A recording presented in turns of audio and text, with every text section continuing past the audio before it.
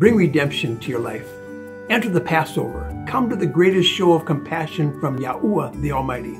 The blessing over your life will just take five to ten minutes. Call us or go online for more information. Hallelujah, shalom, and thank you.